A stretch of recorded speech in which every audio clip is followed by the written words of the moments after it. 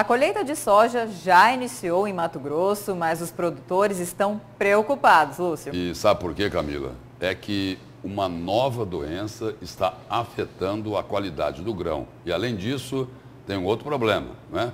É, tem outra questão em excesso, que se torna um problema. A chuva que pode comprometer ainda mais a produção.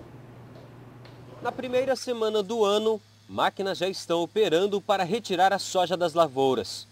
Com o clima colaborando e temperaturas propícias para colher o grão em boas condições, a expectativa deste produtor era das melhores, exceto por uma doença que poderá comprometer o restante da soja que ainda não foi colhida.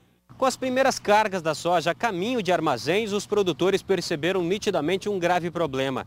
Os grãos estavam bem diferentes dos vistos nas análises há cerca de duas semanas. Uma nova doença, ainda sem nome, está comprometendo boa parte da produção da soja desta lavoura em Sorriso, em Mato Grosso, e em demais plantações que também perceberam o mesmo problema após o início da colheita.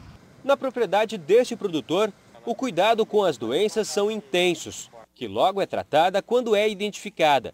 Entretanto, nem os pesquisadores desvendaram o que ocorre quando esta doença ataca a planta.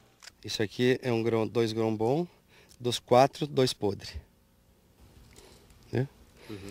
Tu pega essa outra vagem aqui, vamos ver essa aqui. Essa aqui tá boa. Vamos ver essa outra aqui. Ó, um grão estragado e dois bons. Além do tamanho do grão, olha aqui, ó, três grãos podres.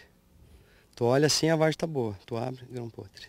E a gente vê uma crise exponencial dessa forma. Sim, não, só aumenta, né, cara? Só aumenta. Era soja que há 25 dias atrás era recorde. Recorde de produção aqui na fazenda. Pode ter certeza. Hoje, acredito que vai ser o ano que eu menos vou colher nesses talhões. Nunca aconteceu isso? Nunca, nunca, nunca, nunca, nunca, nunca. À medida que mais áreas são visitadas por Tiago, mais problemas são identificados.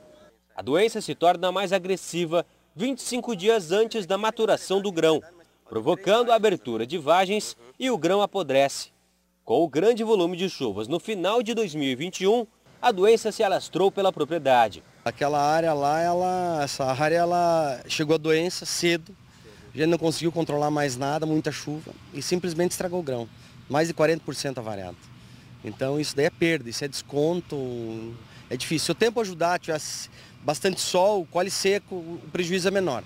Mas se invernar, chover, aí, aí desanda. A torcida agora é sol. Sim, com certeza. Vamos aguardar a pesquisa, uh, falar, uma evolu ter uma evolução maior do que é isso, porque é um problema muito sério e nós temos que já pensar no ano que vem, porque esse ano já foi.